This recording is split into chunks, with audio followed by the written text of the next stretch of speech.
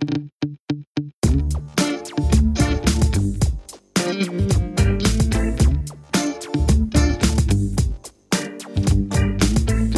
hello, everybody, and welcome to this, the May 2024 edition of the European Urology Podcast.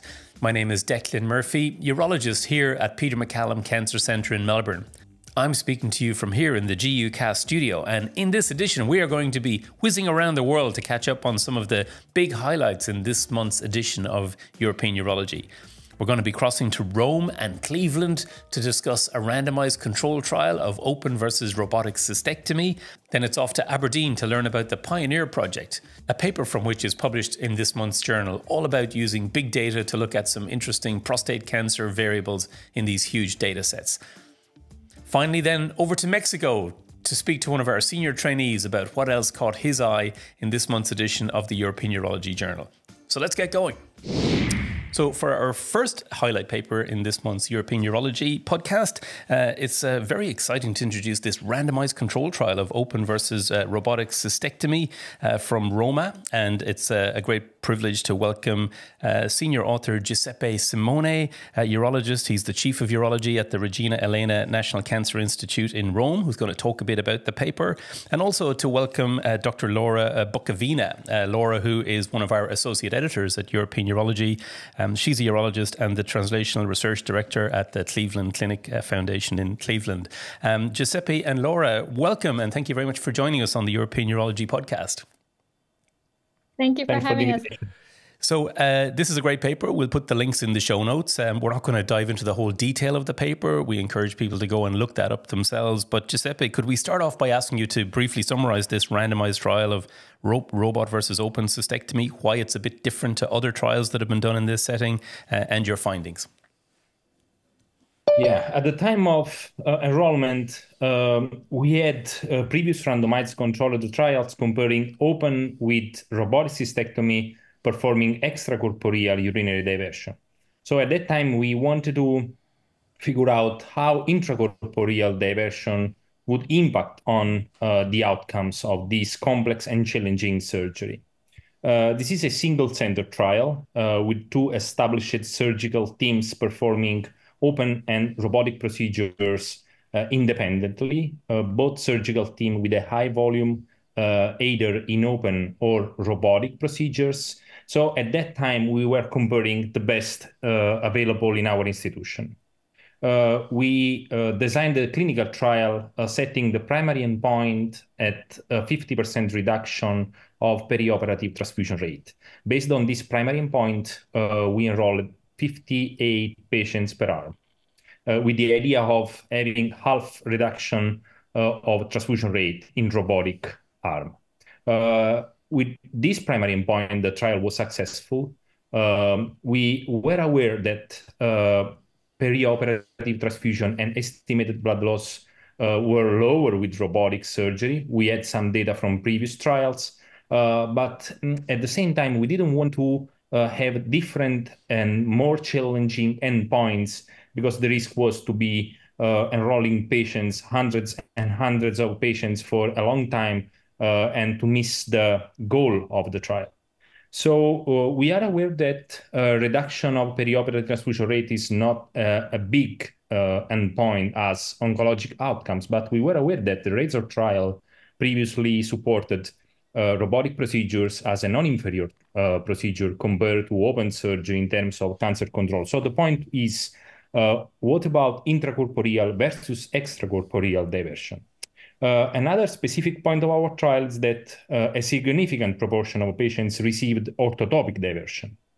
This is very important because other trials have a significant amount of patients receiving uh, ileal conduit uh, versus orthotopic diversion. And you know that uh, complications are mostly driven by diversion itself than by robotic cystectomy or open cystectomy. So these are the strains of our trial uh, and uh, to be honest, we didn't find any significant difference in terms of, of secondary outcomes, perioperative complications, readmissions, oncological outcomes. Uh, and of course, we had higher costs with robotic procedures as worldwide, I would say. Uh, and these are the data, and anyone should look at the data uh, deep in the results section and uh, itself, you know, to understand what's the best way to proceed in uh, his institution. Well, congratulations. A randomized control trial, always a worthy thing and certainly worthy of this, uh, the highest ranked journal in urology.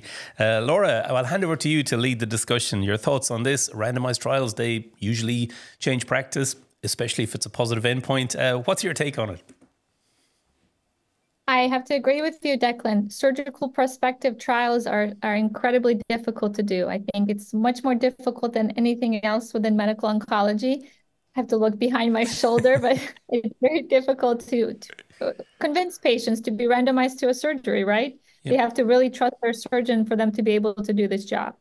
So Giuseppe, congratulations to you and your team. Now, I have to have a disclaimer. I come from Cleveland Clinic, robotic surgery capital of the world, right? But I have to tell you that an open cystectomy, in, at least in this paper and the two other papers from Cato and the Razor trial, it clearly doesn't show that open cystectomy is superior. It also doesn't show that the robotic is superior, sort of equivalent in terms of outcomes, as you mentioned. However, it seems like we're pushing and keep pushing everyone, including our residents and our trainees, to continue to learn robotic cystectomy whether in the diversions without really noticing the fact that many of our trainees are no longer able to do an open mm. surgery. Yeah. What's your thoughts on that, considering there's no benefits to doing robotic cystectomy? Uh, this is a big point. Um, uh, to be honest, uh, I have not a, a, definitive answer to this question. Um, from my perspective, uh, it's very hard to have uh, in an institution, except for some uh, very high volume institutions, two different programs working parallel with open and robotic surgery.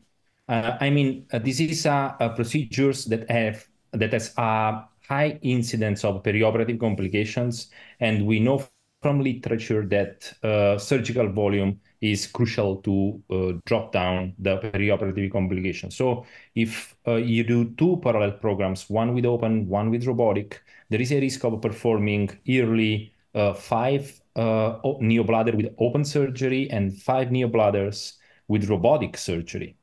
Uh, and this is a surgery that, from my standpoint, should be standardized day by day to make it easier, uh, not only for the surgeons, but also for bedside assistant, for nurse, for OR staff, for everyone.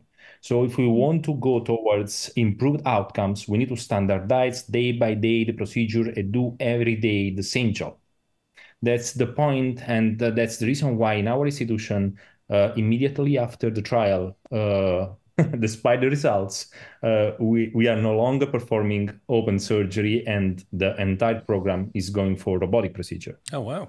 Do you, do you think it's paralyzing to someone who's never done a robotic, who's never done an open cystectomy to do a robotic cystectomy in case there is a complication and you do need to open? Yeah, very important. And this question uh, moved me back to the question about the training so uh, any institution should have some surgeons able to perform open surgery, uh, able to work uh, when robot is not available, able to train young physicians uh, to learn uh, key steps of open procedures. Uh, but if you look at the future, I'm pretty sure by 10 years, no one will be able to teach open surgery in US as well as in Europe so uh, it's very hard to figure out how we should balance between learning uh, either open or uh, robotic procedures. I think it's a true privilege for me to have had the opportunity to learn open, lab, and robotic surgery at the same time. One other thing that I was surprised, Giuseppe, is can one of the benefits that I see, and I have, you know, I'm I'm both open and robotic surgeon, depending on the availability of the robot is that I'm actually preferentially do like to do intracorporeal neobladders with robot because of the dissection and the urethral length. I was surprised that your open neobladders actually had better nighttime continence than your robotic. So that was sort of, you know, it's a little, it's different than what we think of usually, right? So I'm curious what you think of the findings yourself. Yeah, of course. Uh, I thought a lot about this point, and I have two possible explanations. The first one is about uh, the shape and the volume of the neobladder. So my feeling is that when we do uh, open neobladder, uh, we tend to do larger um, neobladder than uh, we usually do for uh, robotic procedures. This is because when you are doing robotic neobladder, uh, time is important. Uh, so you want to, to keep uh, as fast as possible to avoid too much long surgical procedure. This is the first um, potential explanation for this. The second one was the observation that we had improved nighttime continence uh, in female patients. And that's the reason why immediately after the trial, uh, we stopped removing the specimen through the vagina. So we are uh, performing a small uh, prepubic incision to avoid uh, specimen extraction through the vagina in all female patients that are scheduled to receive the neobladder. Absolutely. Giuseppe, one last question we have is obviously the elephant in the room, and that's the cost, the cost associated with robotic surgery, not only in terms of the duration in the operating room and time per time minutes in the OR, or golden minutes as we call them, but also the equipment. Um, how do you rationalize no benefit to surgery, but also higher cost to surgery? Yeah, uh, the issue of costs, uh, especially in Italy, was a big issue for uh, robotic surgery. Uh, now it's improving because the costs of robotic uh, supplies are going down. Uh, and uh, we are now facing an era where multiple robotic platform will be available, and hopefully costs will still going down in the near future.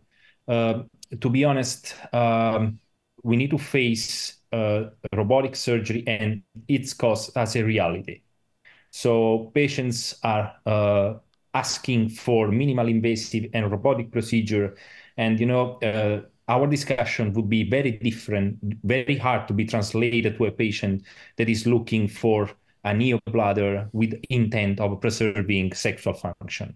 So patients are reading uh, through the website uh, and you know Google uh, that you know with robotic surgery you may have improved uh, preservation of sexual function, lower estimated blood cost. So uh, basically, costs issues are something that patients are unlikely to hear. They want to have the best available, and you know it's very hard to convince patients that we have no data to support robotic as a best procedure today. Yeah, it really goes with the marketing of the technique, right? So a lot of the hospitals use the minimally invasive, even though there's no data to target to patients and market to patients. And then it's hard to convince patients otherwise that there is actually no benefit. So I understand where Absolutely. you're coming. Absolutely, and it's exactly the same for uh, prostatectomy.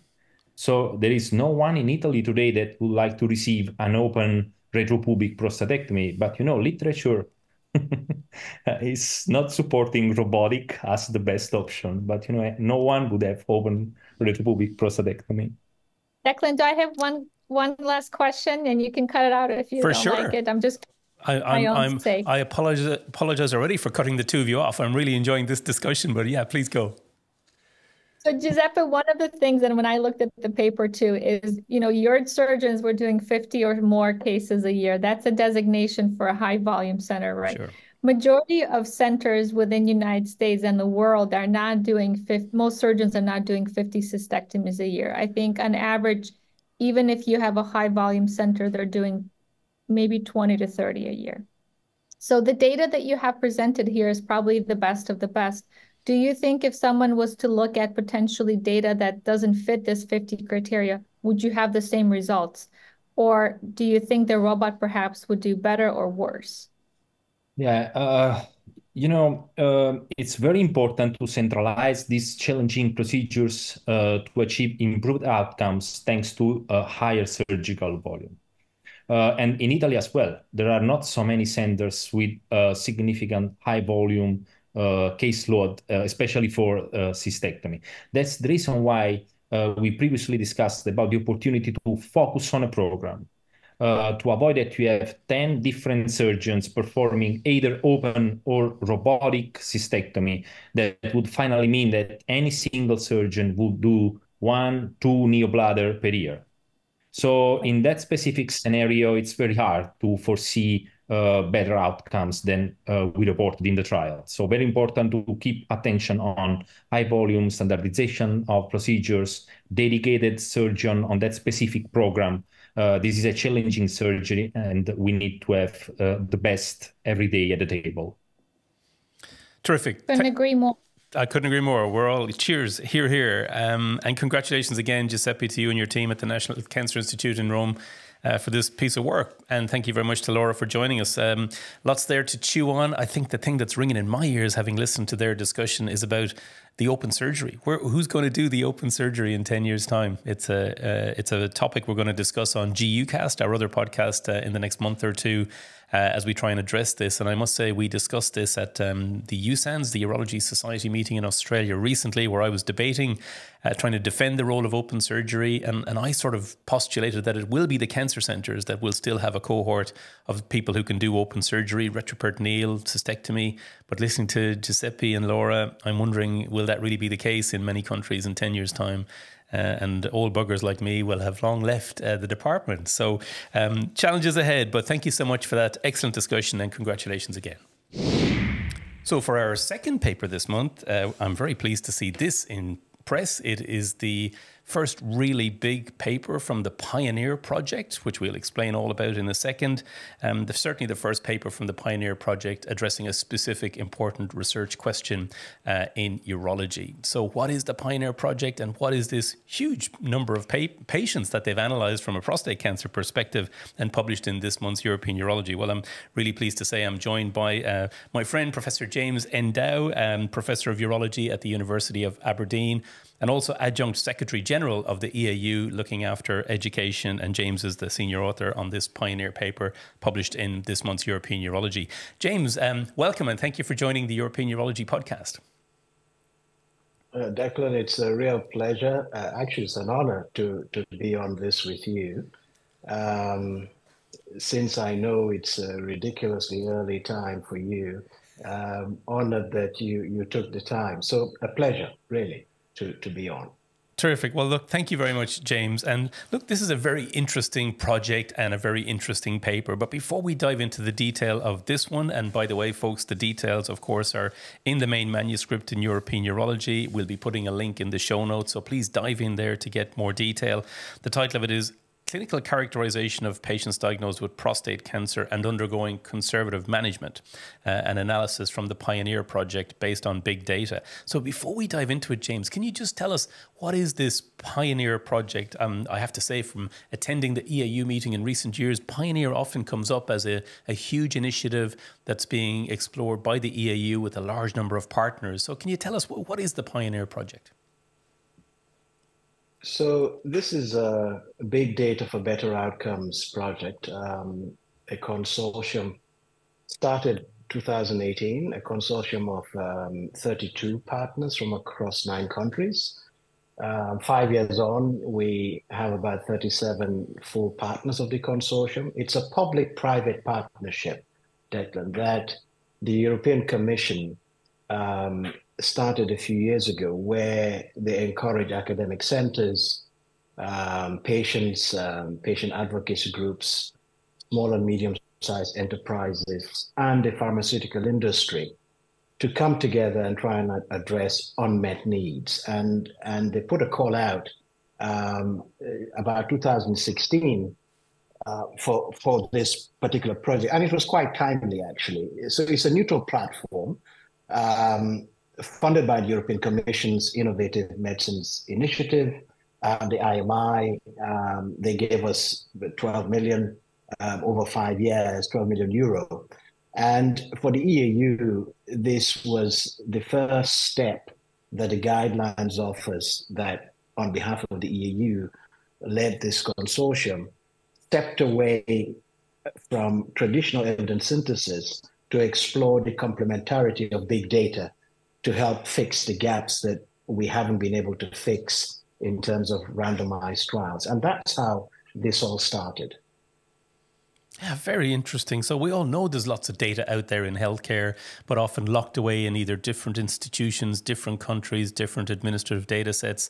And it was as the era of big data was coming along and people had the ability to crunch large bits of data, but it requires, in this instance, overcoming geographic boundaries, political boundaries, financial challenges, technical challenges to analyze the big data. Uh, but a very ambitious project. And it is exciting to see this particular paper, James, um, looking at, did I read this correctly? How many hundreds of millions of patients were uh, analyzed in this before coming up with like half a million uh, odd um, uh, prostate cancer patients and diving down into a, a, group of them that had conservative management. So uh, tell us a bit about that and, and what the main findings from this particular element of the Pioneer project were. Certainly. Well, let me start, Declan, by saying that although I may be listed as a senior author on this paper, the the one person that deserves a huge amount of credit is the first author, um, Giorgio Gandaglia, who is um, from San Raffaele in Milan. As you know, he, he won the Matula Award in Paris recently, and a, a, a super smart young urologist, incredibly talented. And um, he's obviously very well trained in traditional evidence synthesis. And what really has impressed us in this first um, research question that was being answered, we had 56 prioritized research questions that was uh, prioritized across patients and clinicians, including oncologists, as well as um, uh, as well as other stakeholders, including EFPIA partners, pharmaceutical industry.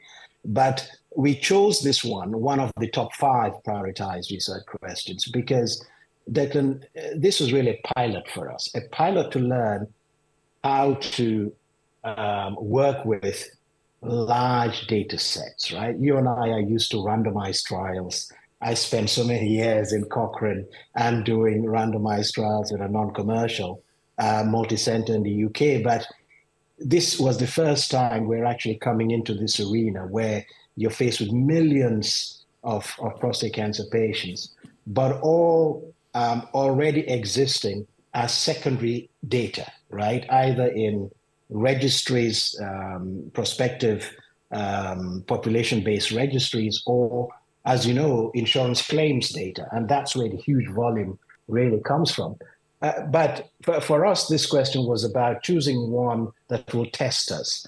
Because conservative management, how do you, and that includes both watchful waiting and, of course, active surveillance how do you retrospectively in records, knowing how badly we clinicians document what we do and why we do it, how do you separate those that are for watchful waiting from those uh, that the intent was active surveillance? And we learned a lot about how to actually develop a protocol. So there's a huge amount of work that had to go on in terms of developing the protocol, converting the data to what we call an OMOP common data model, to ensure consistent representation of clinical terms across multiple coding systems and allowing, therefore, for federated uh, analytics. And we then had to go on and develop a core analytic package that is used uniformly across all of the uh, data sets. Aggregated results are then shared back to us, and the usual traditional uh, statistical methods that you and I know well, Kaplan-Meier analysis used to estimate, for example, um, time to event data, time to survival, treatment initiation, symptomatic progression, hospitalization, and emergency department visits. And, and we were able to, in terms of the headlines, um, reliably report on expected comorbidities, especially for patients at that age, right? Where, you know, patients in their late 60s, 70s, or 80s where hypertension, obesity, and diabetes, type 2 diabetes, were common. And it was nice to be able to say, well, looking across eight data sets, there was consistency in us being able to find such things when we looked for them, right? The other thing that we, we quite uh, uh, were interested in seeing was that we could see the risk of curative and palliative interventions decreasing over time. Um, prostate cancer related symptoms and progression, hospitalization, emergency department uh, visits all decreased consistently over time across the eight data sets. And these were not rocket science, but they were important um, findings to allow us to beef up our counseling when we talk to patients. So they, they but, but really, the headline was we were learning. We were learning how to do what needed to be done in a in a methodologically sound way in a real world arena. And um, the limitations of this, of course, include the fact that these are administrative data sets, so we don't have the granularity we have in uh, electronic health records, and that's all very de- well dealt with in the paper. But a question I had for you is could you take this same idea of having big data analysis and crunching through huge numbers of patients, huge numbers of data points, and apply it to electronic health records in, in you know in future environments where hospitals all have electronic health records. Maybe many of them have records from one or two big providers. And, and is it possible, do you think, for this same methodology, the same platform you've developed, to go into electronic health records in huge numbers if you broke down the barriers and get even more detail? Absolutely. Uh, there's absolutely no reason why, and it's been done before. If you look at what's been done in COVID and many other disease areas be, beyond urology, that the, the analytical packages we've developed, once you've mapped the data set to the common data model, OMOP, you can actually run that package either if you have the data set copy centrally um, or federated sitting behind your own hospital firewall, you can run that same package. So not only can we go back and update the results based on the eight data sets we first worked with, but actually we can add new data sets um, and run the same package and expand it, including electronic health records. And bear in mind, Declan, that some of the data sets were not claims, right? So some of them were claims data sets, but some were not. Um, but if you look at now the Pioneer platform, we have what 44 data sets available with over three and a half million prostate cancer patients, 31 looking at clinical parameters, the other 13 looking at imaging, um, omics, and proms. Uh, out of that, uh, out of that uh, 31, uh, you find that 13 are actually central. This was an, a fascinating thing we learned that even though 18 were federated, i.e., you hang on to your own map data behind your firewall, over time with, with researchers and academic centers gaining trust in the consortium and what we stood for, 13 have shared actually their data centrally, sitting on the Pioneer platform um, uh, in Helmholtz, including big centers that you know of, like Martini-Klinik, ERSPC um, uh, in Rotterdam, Diamond in Cambridge, the Malmo datasets, Florence, Milan, Hong Kong, Dresden, Freiburg, a number of centers, which was something we did not expect. We expected, as you and I would have suspected, that people will just want to keep hold of their data in their federated environment. But things have moved on in a positive way. And maybe that'll be part of the legacy of the Pioneer Project is breaking down those barriers, and it's an ongoing uh, initiative. And can you finally let us know what else we might expect out of Pioneer in in the coming year or two, uh, James? Anything else we can look forward to? So yeah, I mean, I I, I think this is just the beginning. There are other two studyathons that we've done, which you will see uh, hopefully publications coming out of that. But what we've what we've learned, Declan, has determined our next few steps for the next generation. And that is despite huge volumes of data available in terms of secondary data sets, retrospective data sets, there were critical things missing. For example, robust disease stratification at the time of diagnosis being available in, in the data sets, the lack of prospectively collected PROMs, uh, patient experiences of care measures, quality of life collected over time. Uh, and, and these are things that now, now Pioneer has evolved into Pioneer Plus in the sustainability phase. It is part of a broader EAU uh, big data or data initiative called the Euro Evidence Hub, where we, we have built now a prospective registry platform that is linked onto the Pioneer platform, but we collect data based on informed consent, directly uh, collect data directly from patients, then entering data directly onto the platform. And we start piloting hopefully in Spain and Netherlands soon. They've got ethics approval in those in those countries. So these are things that you will see happening because we must ad- address the lack of diversity and the limitations in the data set that we found in the retrospective data, albeit large quantities. So a huge, exciting future. And this is De- not for you and I, right? We're of an era where our time for, for these things have gone, right? This is for the next generation. So I may not live to see the real amazing things that these young ones like Giorgio, and we've got many like him that have come on board, the amazing things they can do. But it's our duty to, to get these foundations put in place. So hopefully you and I will be talking about these young ones and what they're doing in the coming months and years. Well, that's great to hear. Uh, James, congratulations again to you and all the team involved in Pioneer, uh, especially young Giorgio. I don't know how he gets the time to do all of this. Now we know he can analyze millions and millions of patients. Yeah, Briganti and Montorsi will be whipping him to do even more. Um, exactly. A super talented team. Congratulations to everyone involved in this. And yeah, the links are in the show notes. I encourage you to have a look at it and watch out for uh, presentations coming on Pioneer over the coming years. It's a real glimpse into a way forward for, to see how we can improve um, gaps in knowledge by using huge, huge data sets. And it takes gigantic multinational organizations like the EAU and funding from EU to do that. And of course, this is not just an European project. Um, uh, this is also looking at data sets outside Europe, which is very exciting, especially when we look at low and middle income countries as they develop better data sets, we should be able to go in there and look at the unmet needs as well. So, um, James, again, thank you very much for joining us and congratulations to you and everyone involved in this project. Declan, thank you ever so much and congratulations for an amazing program, this GU cast that you amazing. The other segment we very much enjoy doing on the European Urology podcast, apart from our two big highlight papers, is to call one of our senior trainees who will tell us a bit about what else caught his or her eye in the journal this month. So it's a great uh, privilege to welcome uh, someone who I know uh, who visited me here in Melbourne. Uh, Carlos Delgado is a urology fellow at the National Cancer Institute in Mexico City. And uh, last year, Carlos came down here and spent a few months with us uh, on an observership. And he's coming back next year to Peter MacCallum Cancer Center as a fellow following his current position in Mexico City. So Carlos is a very keen keen uh, academic and he was very, and he's a keen podcast fan. So he was keen to join us on this segment of the podcast. Um, Carlos, welcome and thank you for joining the European Urology podcast. Good morning, Declan. Thanks for the invitation. It's an honor to be here. Great, good to see you. And uh, we have asked you to look at what else caught your eye apart from the two papers we've already highlighted in the journal this month.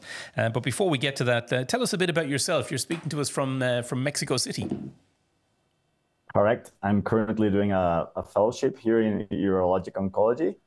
Uh, I'm in the National Cancer Institute in Mexico City, which is the largest uh, cancer center here in Mexico.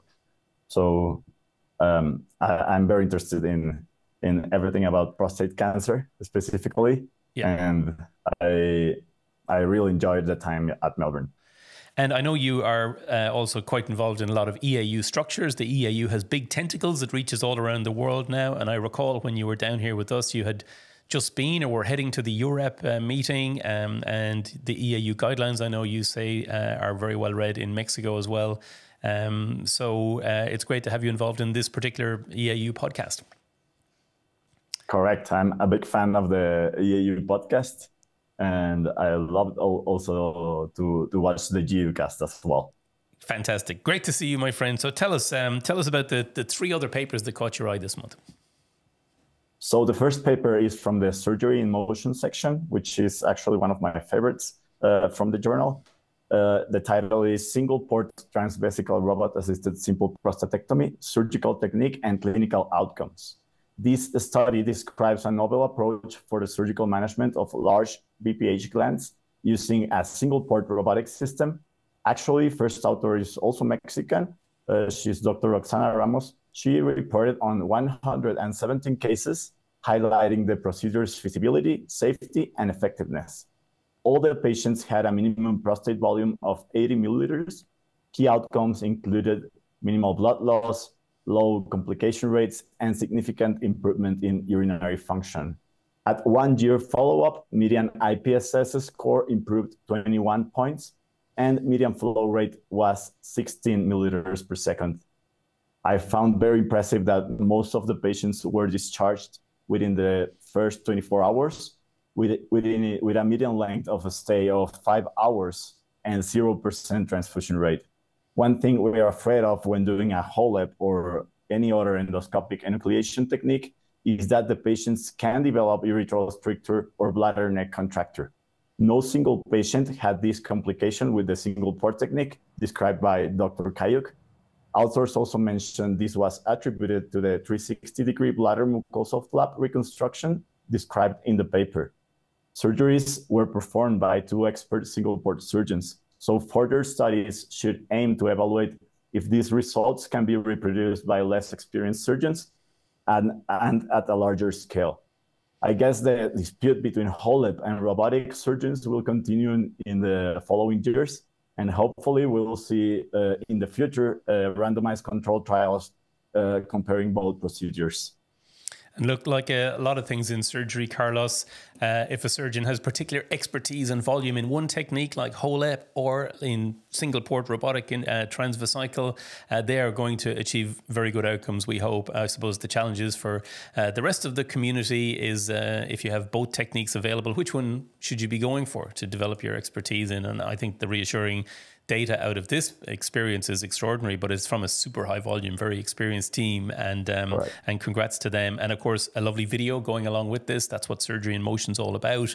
Uh, so please go and have a look at that. We've put a link in the show notes. Um, I agree, that was a great one to highlight. Uh, what else caught your eye?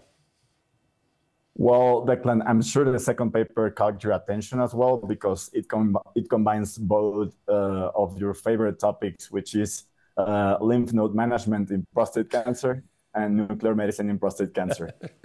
so, so this paper uh, I want to highlight is titled Robot-Assisted Single Photon Emission Computed Tomography, Integrating Nuclear Medicine in Robotic Urologic Surgery. This research letter presents a novel concept of freehand intra-abdominal imaging called robot-assisted SPECT. Authors describe the use of sentinel node-only procedure in five patients with high-risk prostate cancer. Five hours before surgery, a radiated tracer is injected in the prostate for surgical guidance. A non-invasive SPECT scan is done to guide the surgeon to identify the target location. And during surgery, sentinel nodes were identified using fluorescence imaging and traced with a gamma probe. The initial results from five patients showed successful identification of sentinel nodes with high accuracy demonstrating the potential of this technology to enhance surgical decision making. I suggest everyone to go and watch the supplementary video shared in the paper. It's absolutely amazing. I think that further research is needed to prove the clinical utility of these kind of robotic platforms, but I'm sure we'll see more of this in the future. Lovely work. It's a research letter. It's a short format, drawing our attention to an emerging area of interest. And uh, yeah, because where are we with pelvic lymph node dissection? Uh, EAU this year was very interesting. Um, I did a plenary arguing against it. I said the the tide is changing, the sun is setting on lymph node dissection at least in the traditional nomogram driven widespread um, use of lymph node dissection. Um, but clearly, there is some role, and I think probably this type of radio guided surgery or imaging guided surgery, um, sentinel type, whatever, a better approach than widespread nomogram driven surgery may be the future. So, beautiful paper, and uh, please go and look it up. Uh, and you have one more, I think, for us, Carlos. Correct. The third paper is titled MRI Evaluation of Prostate Gland After Focal Therapy for Prostate Cancer. It is the target consensus recommendations. Uh, it provides a comprehensive review and consensus on the optimal use of MRI for follow-up after focal therapy. The authors synthesized data from more than 70 studies to develop evidence-based recommendations aiming to standardize MRI protocols globally. Key recommendations include performing routine MRI at 12 months post-treatment using a multi-parametric protocol compliant with PI-RADS version 2.1 standards and avoiding using PI-RADS score uh, for treated tissue. Instead, authors recommend using an alternative five-point scoring system that includes a dynamic contrast enhanced sequence, T2, and diffusion-weighted imaging. Treatment-induced necrosis and inflammation can mask recurrent disease if MRI is performed earlier than 12 months. Also, an early PSA after focal therapy can be hard to read, but it tends to stabilize at 12 months. So it seems that 12 month point is a good chance to assess MRI and PSA together, minimizing treatment artifacts. These guidelines are crucial for improving patient outcomes by detecting, detecting uh, treatment failures on time and providing a more uniform way to report prostate MRI after focal therapy. Validation studies are now needed to start incorporating this score into our clinical practice. Excellent. This will be very welcome by the focal therapy community. I know, Carlos, because interpretation of MR and which time point has always been an area of some uncertainty because it is different, of course, to the treatment naive prostate. Uh, and I suspect uh, this will be snapped up by people incorporated in future studies for focal and even just in clinical practice. Um, so, look, that's great. Thank you very much for bringing us these highlights and thank you very much for dialing in from Mexico today. Uh, we're looking forward to welcoming you back down in Australia next year. And uh, I wish you all the best with your role at the National Cancer Institute in Mexico. Thank you very much, Declan, and congratulations for the podcast, and thanks for having me today. You're very welcome. So that's all we have time for in this month's edition of the European Urology Podcast. I do hope that you enjoyed our content. Please do subscribe, rate, review us, and all that sort of stuff. It makes it easier for other people to find the podcast. And if there's something in particular you'd like us to cover on this podcast, please do get in touch. Platinum at EuropeanUrology.com or track us down through our social channels. We'll be back next month with some more great content from European Urology. Take care.